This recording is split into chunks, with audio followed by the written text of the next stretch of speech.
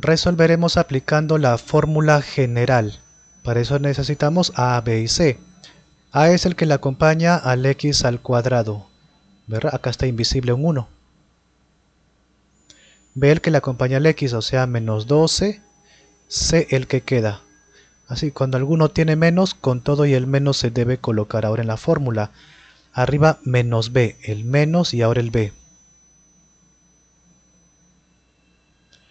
Adentro, b a la 2, b es menos 12, a la 2 menos 4, a que vale 1 y c que vale 35. Debajo 2 por a, 2 por 1, 2.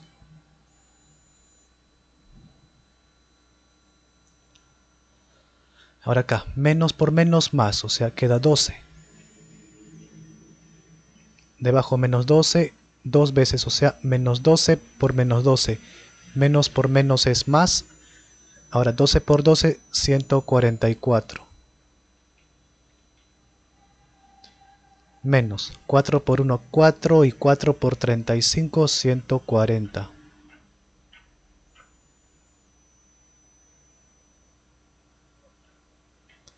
Restamos y queda 4.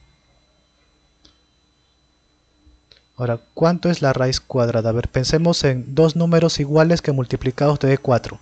2 por 2, 4, por eso 2 es su raíz cuadrada. Y de acá salen dos respuestas, ¿por qué? Porque hay dos signos, ¿verdad?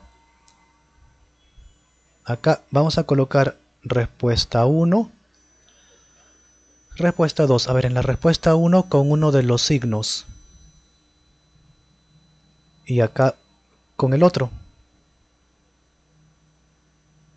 Ya está. Arriba 12 más 2 es 14, entre 2 7, abajo 12 menos 2 es 10 y entre 2 5. Dos respuestas.